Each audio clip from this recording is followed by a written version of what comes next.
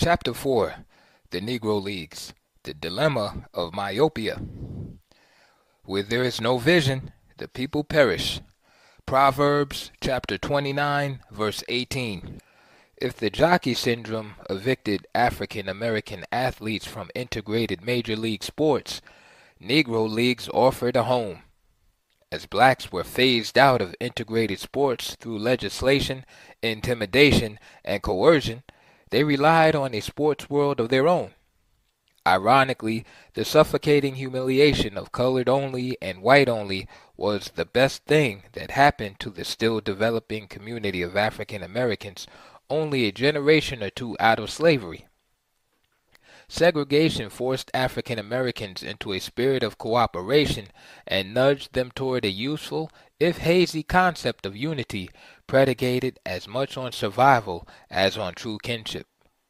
Segregation forced African Americans into a spirit of interdependence that celebrated the particle of existence that mainstream society attacked their humanity pushed to the margins of society by de facto segregation and Jim Crow laws, scorned as outside others and left to their own devices, African Americans built a range of businesses banks, salons, hotels, restaurants, and theaters. In 1904, Robert Motts opened the Pekin Theater on Chicago's South Side. Mott's theater grew out of black frustration with having to patronize white theaters through the back doors. Arthur Rube Foster's Negro League established a parallel world of baseball in the black community. Foster, known as the father of black baseball, was part of a Renaissance generation of African Americans in the 1920s who sought to redefine, celebrate, and make sense of the African American presence in the United States. Black poets wrote their poems, black singers sang their songs, black artists made their art. Foster used his baseball league as a canvas to express a new physical art form, which by the end of the century African American athletes would show off for the whole world. Foster founded his Negro National League, NNL, in 1920. This universe of black baseball was run by African Americans and was largely dependent on an African American fan base, though it appealed to a cross section of fans who appreciated the fast paced, daredevil, Africanized style of play that became the league's resonating, rousing signature. Foster knew baseball like no other man, black or white. He had been a star pitcher, an innovative manager, a stern but generally benevolent team owner, and now was the driving force behind a groundbreaking league. Historian John B. Holway has called Foster one of the most impressive figures in baseball history. He describes him as a combination of Christy Mathewson, one of baseball's great pitchers, John McGraw, the great manager of the Yankees' first dynasty, Connie Mack, a founder of the American League, and Kenesaw Mountain Landis, Supreme Court Justice and baseball's first commissioner. Yet, Rube Foster has become a mere footnote in the epic story of sports integration in which Jackie Robinson is a central character. In some ways, however, Foster is an even more significant figure than Robinson. Foster used black resources to build a baseball league that nurtured talents like Robinson, while establishing an economically viable alternative to Major League Baseball. Robinson became a symbol of the process of integration, a process that ultimately enriched white institutions while weakening and, in many cases, destroying black institutions. White America determined the pattern of integration. The white power structure chose blacks who made whites feel comfortable, who more or less accepted the vagaries of racism. This was the Jackie Robinson model of how an integration worthy African American behaved taking abuse, turning the other cheek, tying oneself in knots, holding one's tongue, never showing anger, waiting for racist sensibilities to smolder and die out, if your spirit didn't die first. This model was hardly progress for black athletes. It was, in fact, a reversal of the paradigm for black involvement in sports that Foster and others had created out of a hard necessity. Foster represents a significant and rare departure from the pioneering tradition that defined, and to a large extent still defines, the journey of African American athletes. The history of the black athlete is often presented as a history of pioneering. Tom Molyneux went from slavery in Virginia to boxing celebrity in England. Moses Fleetwood Walker became the first African American to play Major League Baseball. Isaac Murphy glamorized the stature of the jockey in thoroughbred horse racing. Jack Johnson became the first African American heavyweight champion. Jackie Robinson desegregated Major League Baseball. Althea Gibson became the first African American to win a major tennis tournament. Tiger Woods won the Masters golf tournament. Foster was also a pioneer, but not in the same way. His innovation wasn't being the first black in a white defined institution. He was a man of clear, resolute, and uncompromising vision. He wanted a professional league of black baseball that was owned, organized, managed, and played by African Americans. Foster was not a dreamer. He was a shrewd, determined businessman with superior organizational skills. His Negro National League marked one of the last times that African Americans controlled their own major league sports organizations. His Negro National League also offered a glimpse of what an African American community could achieve by effectively nationalizing its athletic gold. The lasting genius of Foster's legacy is that he was able to organize African Americans to unite and move them as a group toward a collective goal. Foster's vision extended beyond forming a league for the sake of simply playing baseball. He wanted to unite those who seemingly could not be united. Foster was trying to prove that this could be done, but it would take a super effort to solve the perplexing question of why Negroes appear to unite with anybody and everybody but will not unite with themselves. As early as 1906, Foster saw the need to organize black baseball. In the seminal days of the labor movement in the United States, he saw ball players, black and white, as a specialized labor force. He knew that integration with Major League Baseball was inevitable. When integration came, Foster wanted the Negro League he envisioned to have a monopoly on the commodity that Major League Baseball would desperately need black ball players. His league, with players coming from all sections of the country, rural and urban, would have a corner on the market. He wanted his league to be so competitive, so well ran, that when the national pastime was integrated, the NNL would be in a position to dictate rather than be dictated to. His theory was that the league's strongest teams would be absorbed intact, not picked apart like a carcass by so many buzzards. Foster realized that the black owned monopoly on black muscle he envisioned could not be accomplished using the working model of the day for black teams barnstorming. This method lacked focus and was subject to the control of white booking agents. In barnstorming, teams scoured the countryside, playing hit or miss exhibitions against woefully inconsistent competition from local neighborhood teams to white major leaguers looking to make some extra money on the side. Foster grew up in this barnstorming tradition. He was born in Calvert, Texas in 1879, a year after fellow Texan Jack Johnson, the first black heavyweight champion. Foster's father was a Methodist preacher, and like many African Americans, the elder Foster saw participation in sports as a sinful indulgence. At the time, the attitude of many earnest, hard-working African Americans toward sports was that it led to nothing constructive and that, as an enterprise, played for the pleasure of white people. It was degrading to blacks. Yet, by the time he was 13, the younger Foster was a train-hopping baseball vagabond. His mother died in 1899. When his father remarried and moved, baseball became a sanctuary and an obsession for Foster. Like Johnson, Foster lived the rough and tumble life. He became the baseball equivalent of the itinerant bluesman, a teenage troubadour who traversed the country, hopping trains, catching freights to this game or that. The essence of Foster's character is revealed in his response to an invitation from Frank Leland, the African American owner of the Leland Giants in Chicago. The owner, in his telegram, warned Foster that with the Giants he would be playing against the best white baseball teams in the area. Foster replied, If you play the best clubs in the land, white clubs as you say it, will be a case of Greek meeting Greek.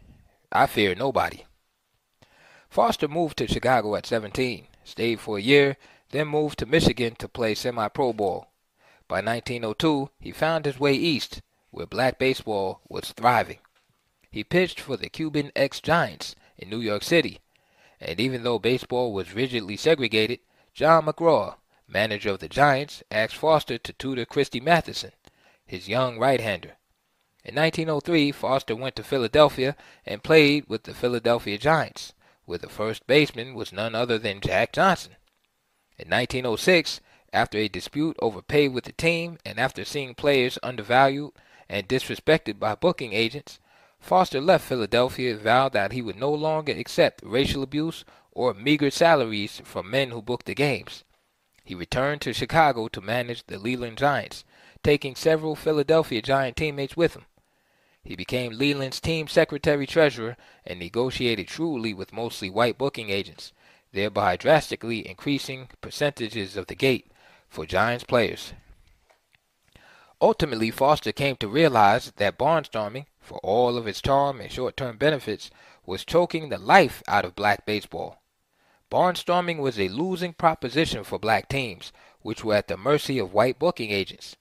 The booking agents were the liaisons between black teams and the white baseball owners of the stadiums in which they played. Agents like Nat Strong and Ed Gottlieb, and later Abe Saperstein, could make or break teams simply by determining who played where and when. Foster was determined to break this chokehold of agents acting as conduits between the white power structure and black owners. Foster realized that if total self sufficiency was ever to be achieved, black teams had to reduce their dependence on booking agents. The only way to purge baseball of the network of powerful white booking agents who determined where teams played and which teams received the more lucrative dates was to form a league. The only way to do that was to organize. Writing for the Indianapolis Freeman in 1906, Foster wrote of black baseball Organization is its only hope. With the proper organization, patterned after the men who have made baseball a success, we will, in three years, be rated as other leagues are rated. We have the players, and it could not be a failure, as the same territory is traveled now by all clubs, with no organization or money. It would give us a rating and standing in the daily papers, which would create an interest, and we could then let the best clubs in our organization play for the World's Championship with other clubs of their leagues. Foster ended by saying, It would be a crime for the Negro, who has such an abundance of talent in such a progressive age, to sit idly by and see his race forever doomed to America's greatest and foremost sport. If the Negro National League was going to corner the market, blacks would have to seize control of their resource, black players. Foster recognized by 1920 and probably earlier that the emerging battle with the booking agents, the Strongs, Gottliebs, and Sapersteins, was a battle for control over the raw resource of an emerging industry. The battle over control of black athletic muscle would be a consistent underlying theme for the duration of the century. This was a battle African Americans would be hard pressed to win because they didn't know such a battle was being fought. Indeed, the African American community and this would be its imprimatur during the next several decades, willingly turned black muscle over to whites, initially in the name of integration, ultimately for one of a dollar. As word spread about Foster's plan to organize a black baseball league, there were attempts by the white run Eastern League of Colored Baseball to buy Foster out. Nat Strong, the white founder of the Eastern League and one of the earliest and most powerful booking agents, offered to provide Foster the president of the Chicago American Giants, with a team of his own and the opportunity to play in a $100,000 stadium if he cast his lot with the Eastern League of Colored Baseball. Sol White, a player, manager, and chronicler of early black baseball, wrote of Strong that there is not a man in the country who has made as much money from colored ball playing as Nat Strong, and yet he is the least interested in its welfare. Foster turned down Strong's offer. He fought Strong to a draw. His mastery at booking, achieved during years of booking games in Philadelphia and in Chicago as Leland's secretary, prevented Strong from controlling all of big time African American baseball. Foster's fight was one of principle. Dave Malarcher, one of Foster's baseball confidants and the man who succeeded Foster as manager of the Giants, recalled that Foster turned down numerous opportunities to play in white semi pro leagues because he felt he was needed in black baseball. Foster had had an opportunity to leave Negro baseball and go into white semi pro baseball because he was the leading drawing card outside of the major leagues back in those days when he was pitching. But Rube told me he refused to go because he knew that all we had to do was to keep on developing Negro baseball. Keep it up to a high standard, and the time would come when the white leagues would have to admit us. The thing for us to do, he said, was to keep on developing so that when the time did come, we would be able to measure up. Foster realized that the strength of the Black League wasn't just that it was packed with quality players who were otherwise denied a shot, but that it had also developed a distinct, though hard to define, Africanized style of playing baseball. The style was characterized by exciting, daring base running, spikes first slide into second base, and bunting for base hits. Foster's League became a showcase of this black style of ball, distinguished by non-stop rhythm. Foster launched his league in December of 1920. He invited eight owners of the strongest black teams to Kansas City for an inaugural meeting that would result in the formation of Foster's Negro National League. Although he did not want white ownership, one white owner, J. L. Wilkinson, who owned the Kansas City Monarchs, was part of the founding group. Wilkinson had strong Midwestern connections that were crucial if the new league was to move forward. This meeting in Kansas City showed Foster at his organizational best. To the amazement of the owners gathered, Foster had already secured a charter of incorporation for the league.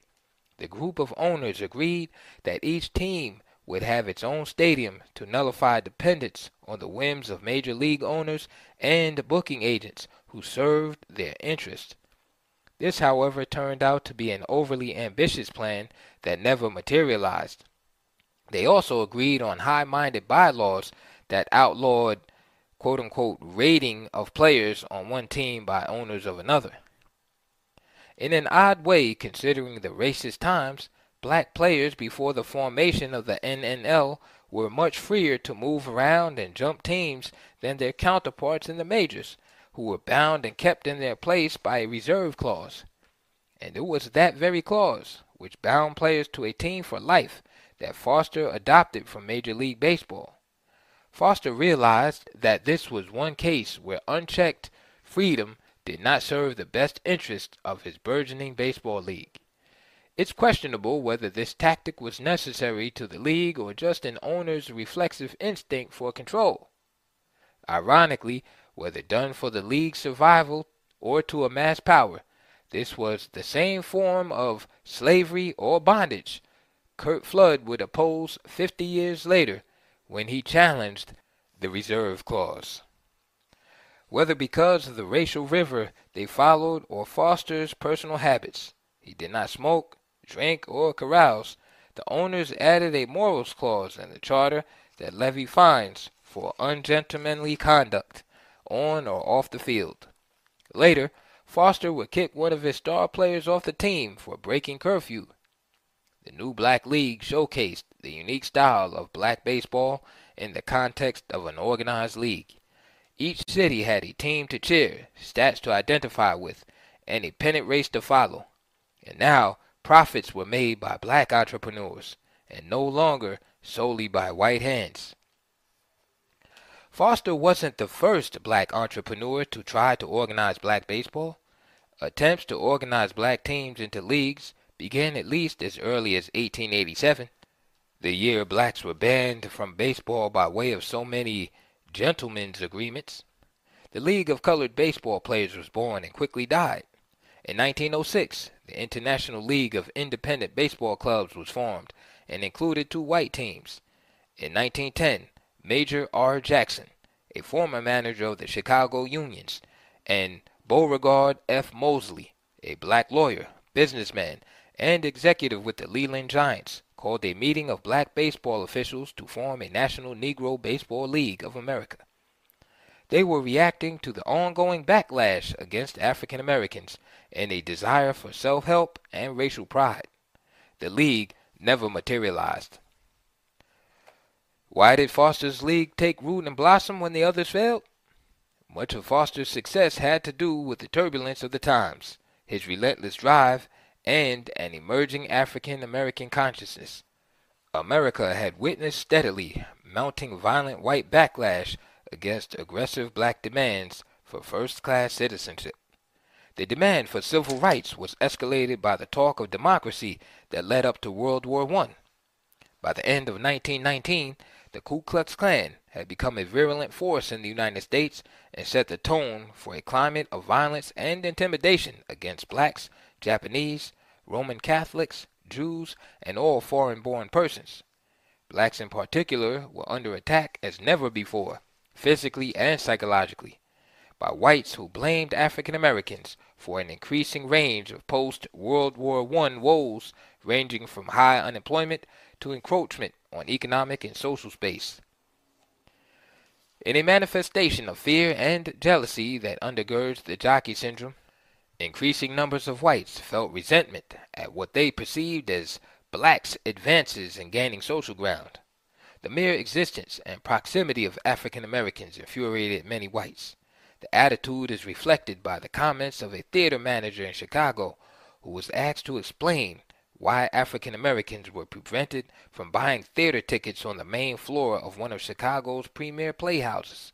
The manager said that it was not the quote conduct of the Negroes that was objectionable, but their mere presence. This attitude explained the subtle discrimination behind the new black ghettos in the North, as well as the ironclad segregation of the South. A succession of riots beginning in the first decade of the 1900s saw outbreaks of white mob violence and terrorism as a means of keeping blacks in their place and out of economic and social competition with whites. As we've seen, when Foster's friend Jack Johnson defended his heavyweight boxing title against Jim Jeffries in 1910, roving crowds of white vigilantes rioted, killing and beating African Americans. By 1919, the violence directed at African Americans had reached genocidal proportions. Indeed, it was the bloodiest year of racial violence the United States had seen since emancipation. The harmony, sacrifice, and national unity that marked the previous war years dissolved into bitter disillusionment amid tight competition between blacks and whites for resources in the North and into the resumption of Jim Crow's violent reign in the South. Black soldiers coming back from the war with higher expectations of better treatment were met instead by redoubled efforts to relegate blacks to pre war status on the bottom rung of society's ladder. Lynch mobs murdered 78 African Americans in 1919. Black soldiers returning from duty were not exempt. In fact, the soldiers in uniforms with rifles incited fear among whites that this black subservient underclass was now armed and dangerous. Of the 78 lynchings in 1919, 10 victims were war veterans. Some of them were lynched in their uniforms. On July 27, 1919, tension in Chicago exploded into a bloody 10 day race riot after a black teenager drowned while swimming, apparently under attack from a white mob. What distinguished this bloody race war from previous black-white clashes was the aggressive nature of black resistance to white violence. Blacks fought back. Rube Foster embodied this aggressive new attitude. He was the model of the emerging new Negro, a phrase coined in 1919 by young black radicals as a way of distinguishing themselves from the traditional accommodating black leadership. The new Negro fought back. Now, the shedding of black blood meant the shedding of white blood. White mobs descending on black neighborhoods in Chicago were met with force. The new black attitude was encapsulated by the Claude McKay poem, If We Must Die, which contained the couplet, Like men will face the murderous, cowardly pack, pressed to the wall, dying, but fighting back. Foster's Negro National League created a universe in which the black presence was accepted, nurtured, and celebrated. The league became a base of power for African Americans in the rapidly growing industry of baseball. The six team league, in addition to creating excitement, created employment and gave black newspapers teams to cover. The black press played a pivotal role in the formation of the league. Two reporters helped draw up the founding constitution. The black press supported the league by giving teams coverage, writing up accounts of home games, and profiling the league star players. If Rube Foster was the Negro National League's greatest strength, he was also its weakness. Foster attended to every single detail of the league he created. As manager, he ordered team uniforms and he bought equipment. In the dugout for his team, the Chicago American Giants, Foster called nearly every pitch and orchestrated every key play. As commissioner, he settled disputes, including those involving his own Chicago Giants, often in favor of the other team. Foster sent his own players to weaker teams in order to maintain competitive balance in the league. He earned a substantial amount of money. He took a percentage of the gross of each gate but he poured much of his own money into shaky franchises and guaranteed hotel bills for teams stranded on the road. Foster was the benevolent dictator of his league. Though he was criticized for his domineering, heavy handed management style, even his harshest critics conceded that without his unique ways, black baseball would have remained in the wild, risky barnstorming wilderness. When he threatened to leave in the face of mounting criticism in 1926, Foster was given an overwhelming vote of confidence by owners. His unyielding dream, though, was to see the elimination of racial barriers that blocked the entry of blacks into Major League Baseball. Foster's vision was to see entire black franchises admitted, as well as individual players. In 1926, Foster met with Ban Johnson, the American League president, and John McGraw, the league manager of the New York Yankees, to discuss plans for his American Giants to play big league teams that visited Chicago on their off days. Commissioner Kenesaw Landis apparently killed the idea and dealt, quote, a crushing blow to Foster's already fragile psychological condition. Years later, Foster's son speculated that the emotional straw that really broke his father's spirit was not so much the pressure of keeping teams of African Americans together and fending off attacks from booking agents. What broke his spirit was that meeting with McGraw and Johnson. His son suspected that during the meeting Foster had proposed some form of merger between his Negro League and Major League Baseball, and that McGraw apparently told Foster that the time was not right for an African American presence in Major League Baseball. The realization that his league would remain indefinitely estranged may have broken Foster's will. The world of black baseball would never become joined with the larger world of white baseball. Foster feared that white ball would take what it needed, then crush black ball to pieces and watch it die. By December of 1926, the pressure of holding together the fragile world of black baseball had cracked Rube Foster's battle hardened armor. Six stress-filled years of being the heart, soul, and uncompromising guiding light of Negro League baseball had become too much for Foster to bear. He conceded as much in an article for the Chicago Defender when he wrote, quote, Oft times I have felt that the task was hopeless. I felt ready to give up. The strain placed upon me has proved great, almost beyond endurance. There were signs of instability as early as 1924 when friends told Foster to take a break. He took a vacation, but there was no relief. There was no distinction for Foster between baseball and his life. The two were intertwined. Then, 13 days before Christmas, 1926, Foster broke down. George Sweatt, the Giants' veteran outfielder, heard a loud commotion coming from Foster's downstairs apartment. He had heard Sarah Foster, Rube's wife, shout, Oh, no, don't do that. Sweatt ran downstairs and knocked on the door. Sarah, flustered and panic stricken, said, quote, There's something wrong with Rube. He's just going crazy down there. I'm going to have to call the law. Sarah called the Chicago police to the Foster's apartment building on Michigan Avenue. Several officers were needed to subdue the six foot two, 240 pound Foster. After a violent struggle, the legendary pitcher, manager, and founder was put in a police wagon and taken away. After a week long diagnosis, Foster was declared mentally incompetent and committed to the state asylum at Kankakee, Illinois.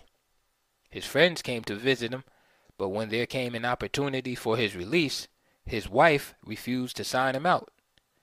He remained committed until his death on December 12, 1930, at the age of 51. Historians trace the demise of Negro League Baseball to the desegregation of modern Major League Baseball, beginning with the arrival of Jackie Robinson in 1947. But the demise of black baseball began that December afternoon in Chicago, 21 years earlier, when Rube Foster suffered a nervous breakdown. Without Foster to push every button, plug every hole, whip, and intimidate, the Negro National League floundered and finally died in 1932. The remaining owners lacked Foster's vision, drive, and commitment to black baseball, as well as his business instincts, his tenacity, and his presence. Foster's death created a vacuum in vision and leadership within black baseball that would never be filled as fully and as completely as he had filled it. Other people in other sports have tried. Bob Douglas formed the Harlem Rens, the first full salaried professional African American basketball team in 1923. Douglas's Rens were a model of organization. The Rens competed against white professional teams and even won the first World Professional Basketball Championship in 1939. The Rens became the first black owned team to join the National Basketball League in 1948 but they were not asked to join the National Basketball Association. Without a strong league in which to sustain itself, a black base of power, the Rens could not contend with an ocean of prejudice and dissolved in 1949. Fritz Pollard, the great Brown University All American and the first African American head coach in the National Football League, reacted to pro football's exclusion of black athletes by forming two all black barnstorming teams. Without the sustaining force of an African American league, however, Pollard's two teams and other semi pro teams died. A new Negro Baseball League was formed in 1933 by Gus Greenlee, who was the opposite of Foster. Foster was a baseball man. He knew the game and loved it. Mostly, though, he knew the business of the game from top to bottom. Greenlee, however, was hardly washed in baseball tradition. He was the numbers king of Pittsburgh, a gambler. The Negro Baseball League that Greenlee founded in 1932 is the league most people have in mind when they speak of Negro leagues. Unlike Foster, the new wave of owners lacked vision. More than that, they lacked the dawn to dusk commitment required to make black baseball truly succeed. There were good ideas here and there, but none that was connected to a collective vision or philosophy of self sufficiency. Greenlee, for example, built his own stadium, as did Alex Pompez, the flamboyant owner of the New York Black Yankees, to avoid paying exorbitant rental fees to Major League Baseball owners. But these owners were the exception. Most black owners rented from major league teams as part of an exchange that paid rich dividends for the major league team owners. Although there were African American banks, Negro League teams did not have the same access to capital as the white major leagues. The black owned banks that did exist lent money to institutions only for life and death survival. Baseball and sports in general was considered incidental to the larger aspects of African American survival and so did not qualify. Without clear goals and strong willed leaders, black baseball couldn't purge outside influences. In fact, most of the owners depended on revenue from barnstorming and accepted the existence of booking agents as a fact of life. The presence of white booking agents who monopolized black baseball in Rube Foster's era continued. Cumberland Posey, owner of the Homestead Grays, referred to Abe Saperstein, the Chicago based sports agent, as, quote, a symbol of those who are attempting to edge into professional Negro athletics and to eventually control them. Greenlee, owner of the Pittsburgh Crawfords, had a series of clashes with Nat Strong over who should control black baseball. Greenlee said he understood why Strong opposed a black baseball league, but noted that, quote, he fought the idea with every weapon at his command. There were high points, such as Greenlee's creation of an East West All Star game. This annual game, held in Chicago's Comiskey Park, became the centerpiece of the new Negro League. The East West game became the black social event of the summer. But the All Star game could not protect Negro League baseball from the coming invasion. Not that black owners even saw an invasion coming. Integration, inside and outside of sports, was seen or at least sold by so called black leaders as the panacea. Even an avowed activist like Audley Queen Mother Moore, a civil rights worker and black nationalist, was taken in.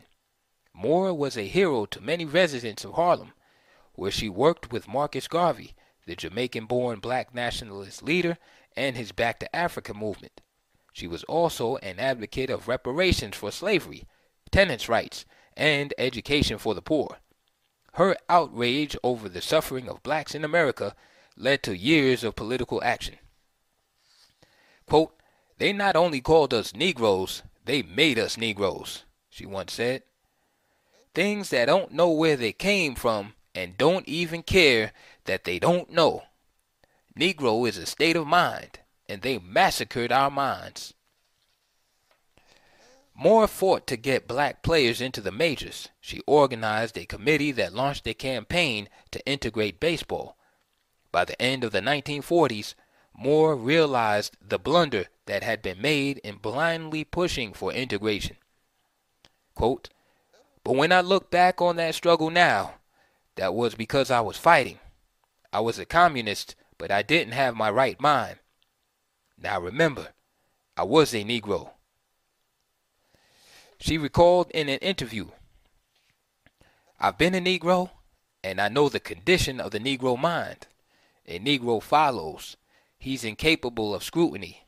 He's incapable of analyzing. And he's incapable of perception. A Negro is functioning with a European mind, a European mentality. So he's not himself. So he doesn't know what's good for him and what's harmful for him, and he'll do most anything. If people are going, he'll go. And this is the way the Negro is. Had I not been a Negro, I would have fought to get our teams in the big leagues. But what I did was kill the teams. We had teams. I found that out later. When our teams played in the communities throughout the country, our communities were ablaze with activities. Our hotels. We had hotels and all. We used to have taxis, shoeshine boys, old women selling candies and peanuts and everything. There was activities our youngsters had something to aspire to. There was activities, right? Well, honey, now you have a Negro or ten Negroes or twenty Negroes there, but the white man gets all the gate. He gets all the receipts from the ball game, the profits. I would have fought to put our teams in. That's a qualitative difference. Between 1943 and 1946, black baseball was more popular than ever. Owners, content to be kings of their own tiny hills, were blinded by short term gain. Without a tenacious, dictatorial, Fosterian presence to manage resources, the two black leagues, the Negro National League and the Negro American League, never found a way to operate in a manner that ensured that black baseball would have a viable future. The owners did not see the integration armies lining up on the horizon and had no coherent plan of action for how to face the onslaught that was about to take place. An onslaught led by Branch Rickey. By the late 1940s, Major League Baseball was hungry for new blood, fresh blood, black blood. Negro League owners had failed to grasp the implications of Major League Baseball's manpower shortage its slumping attendance, and its desperate need for new talent, which the black leagues held in abundance. In the lore and legend of baseball integration, Rickey, like Robinson, has become a legend of mythic proportions. There are all manner of stories about Rickey, schools of thought about who he was, and debate about whether his motives were social or economic. The reality is that Rickey was a baseball man, he was also a shark. The Brooklyn Dodgers board of directors quietly authorized Rickey to go after the most lucrative pool of untapped talent, the Negro Leagues. Rickey knew that players, black, white, and brown, were the lifeblood of any league, of any team. As the United States braced for World War II and major league owners fretted over how they would keep players, Rickey began recruiting players from Cuba. Rickey was fair, and Rickey was a barracuda, but he was a barracuda first. Rickey exploited a psychological soft spot within the African American community, the desire to quote unquote measure up. That made the invasion go infinitely smoother. In his years of scouting Negro League teams, he became intimately familiar with the athletic ability of black players, and with something far more essential. He became familiar with the sense of longing, the burden of proof that haunted many of them. Rickey understood how desperately black players wanted to play in the major leagues, and more significantly, how desperately the national black community, with a hunger for access to the mainstream, wanted black players to play and succeed in the white man's game. Indeed, this element of black life, this hunger to succeed, was the commodity Rickey was after when he campaigned to integrate Major League Baseball at the behest of the Dodgers directors. Major League Baseball, with Rickey as its point man, masterfully used the black community's civil rights fervor to keep owners from aggressively standing in the way of integration. Rickey exploited the integrationalist leanings of the black community to crush opposition. When J. L. Wilkinson, the white owner of the Kansas City Monarchs, resisted, Rickey effectively shouted him down. Rickey said Wilkinson was not Frederick Douglass. Rickey and Wilkinson exchanged charges and countercharges of carpetbagging. A tug of war ensued over using black muscle for white gain. Black baseball owners could not agree on a strategy. The owners were torn between wanting integration and wanting to remain a viable business. These latter day owners of Negro League Baseball mistakenly felt that they would be involved in a profitable way with the quote unquote integration process. Some felt that their teams might be purchased and incorporated into the Major League Baseball minor league system. That was not part of the plan, however. The treatment of the Negro Leagues was brutal and disrespectful. The Negro Leagues were invaded for talent, much as Africa was invaded for human labor. In each case, invading forces received inside helped to facilitate the trade. Negro League Baseball became the first supplier of black players to Major League Baseball, as Rube Foster had anticipated. How baseball went about acquiring black players was not what Foster had in mind. Some owners eagerly sold players. Others watched helplessly as players were signed and snatched away. Their biggest stars snapped up and absorbed into white baseball with no compensation for the team. Worse, there was no respect for the leagues that had produced Jackie Robinson, Satchel Paige, and other great players. Rickey brazenly snatched Robinson from the Kansas City Monarchs, saying, quote, There is no Negro League as such as far as I'm concerned. Rickey said that black baseball was under the control of rackets, referring to the several Eastern owners and gambling associations. Rickey insisted that Negro leagues are not leagues and have no right to expect organized baseball to respect them. This was a corruption of Foster's dream. From everything we know of Foster, he would not have allowed Rickey and the others simply to barrel in and snap up whomever they pleased without compensation or respect. Foster wouldn't have hesitated to use any means at his disposal to keep his league viable, even if he had to ruthlessly exploit the opposition of the major league owners who were against integration. Baseball was unofficially integrated in 1945 when Robinson signed a contract with Montreal. Interestingly, three of the greatest landmarks of African American sports history took place outside the United States a testament to this country's racist response to the emergence of black sports figures. Tom Molineaux fought for the boxing championship in England. Jack Johnson won the championship in Australia. And Jackie Robinson integrated baseball in Canada. In 1947, Robinson's contract was purchased by the Dodgers.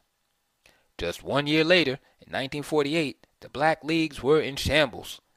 Many of the Negro League owners, so engrossed in the period of prosperity, never saw what hit them until it was too late. Effa Manley, the co-owner of the Newark Eagles, said, quote, Our trouble started after Jackie Robinson joined the Dodgers. Manley, who was white but often passed for a fair-skinned African American, said, quote, Black fans are stupid and gullible in believing that Rickey has any interest in Negro players other than the clicking of his turnstiles. But Manley was the naive one in another sense. This normally shrewd woman thought that integration would help black leagues.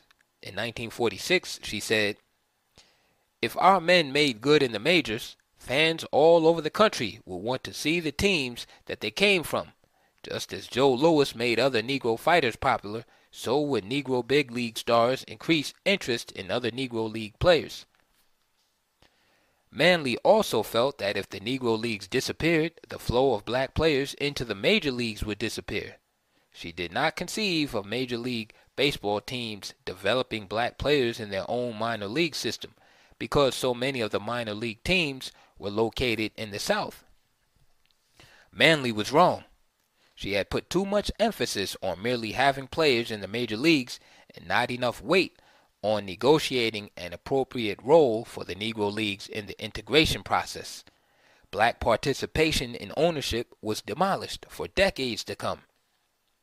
Unlike Rube Foster, who had worked tirelessly until his death, in fact, despite being institutionalized to keep black baseball efficient and organized, the new owners lacked the combination of vision and dedication required to fight, much less win, a war for black resources, human gold.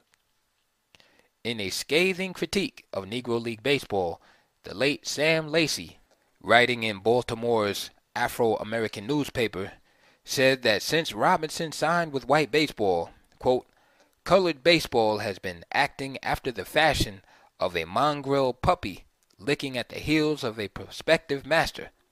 The years that were spent by friends of the sport, the writers, in an effort to straighten out colored baseball went for naught until Branch Rickey reached into the ranks and took out one of its young stars. When that happened, but not until then, colored baseball operators began to see the implications. Wendell Smith, writing in the Pittsburgh Courier, said, Organized baseball has practiced a vicious policy of discrimination against Negro players, and in so doing, made it possible for the segregated Negro leagues to flourish and prosper. While wallowing in the mire of segregation and discrimination, the owners of Negro League Baseball were the beneficiaries of that vicious system, and they benefited greatly. So much so that the gold blinded them, and they are now firmly caught in their own trap. Still, before the major leagues fully took the measure of black baseball and became energized by the influx of new players and the exciting new dimension that black players brought to their clubs, the Negro Leagues functioned as Rube Foster envisioned, as a minor league system for Major League Baseball, albeit without official designation. It was a situation that was not sustainable in the long run without some kind of negotiated formal arrangement. The final blow for the Negro Leagues came in 1951, when the southern based network of minor league baseball teams was desegregated. Now the major leagues had no use for the Negro Leagues, and they slowly died. Major League Baseball had no use for any competing leagues and was not interested in allowing African Americans to sit collectively at the ownership table. By the 1960s, black baseball was effectively dead. Major League Baseball had prevailed.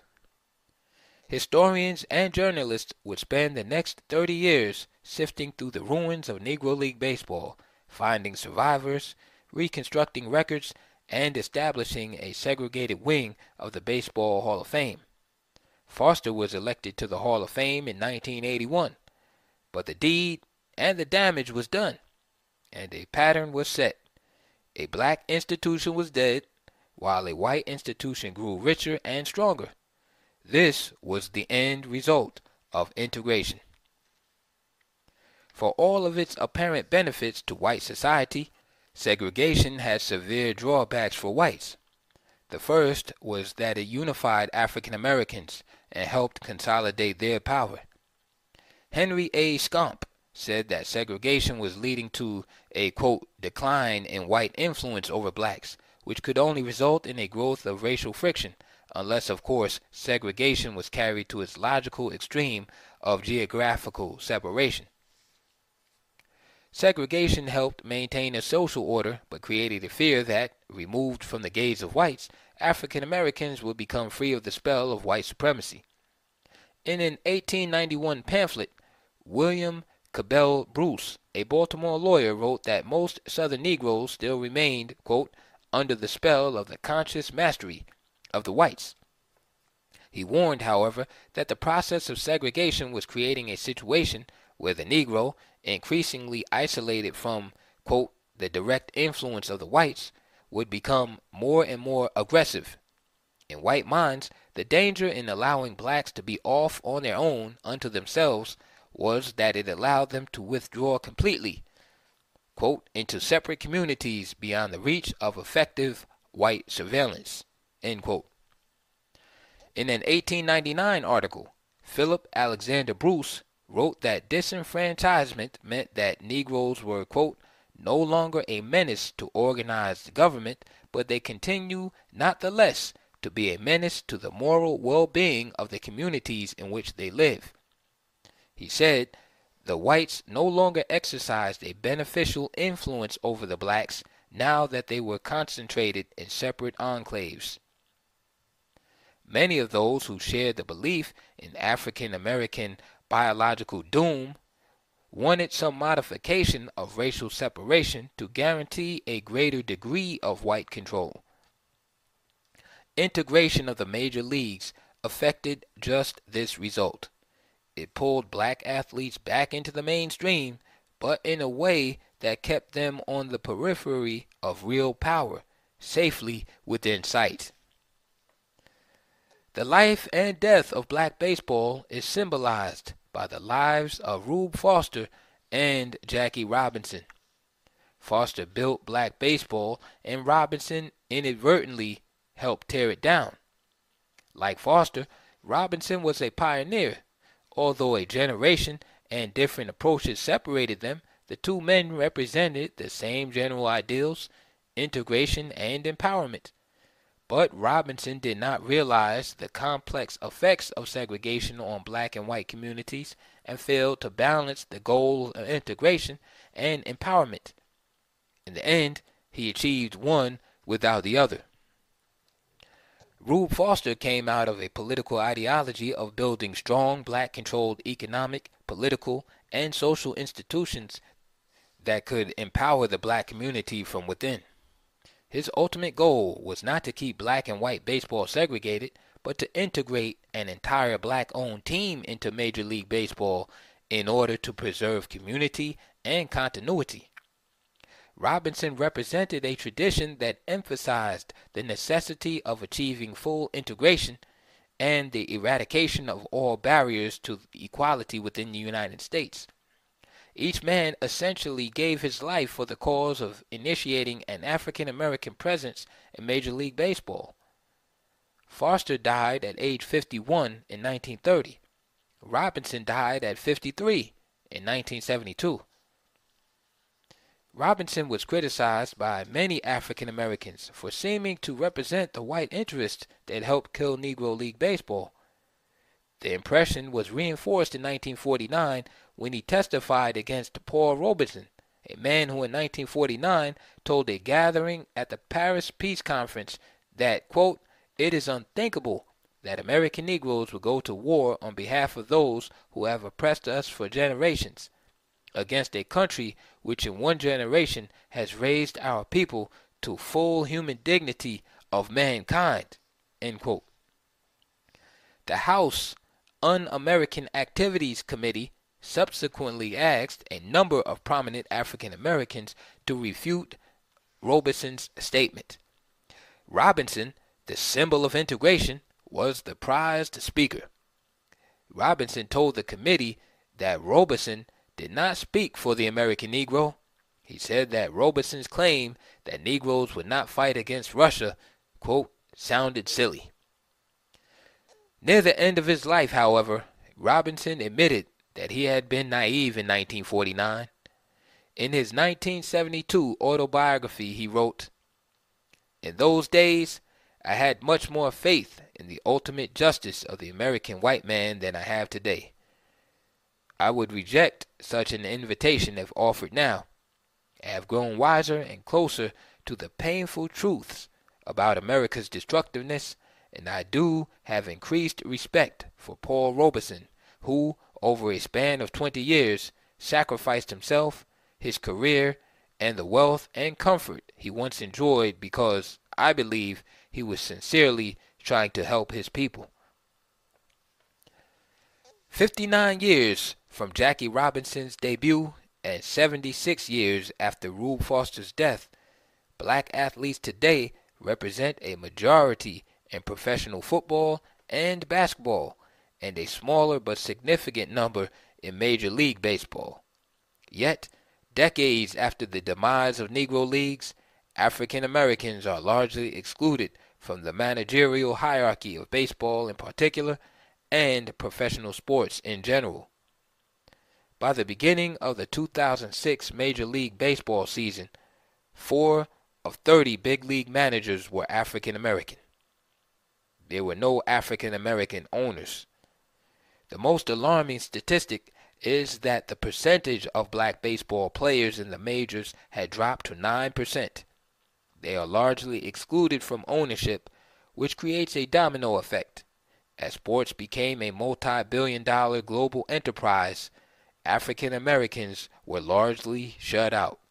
Shut out of front office positions, presidencies, vice presidencies, and a wide variety of positions that flow into sports. America's destructiveness, in Robinson's phrase, had worked its magic on what once was a thriving black owned industry, stealing its talent base and laying waste to its power. Foster would be appalled at how completely his dream had crumbled.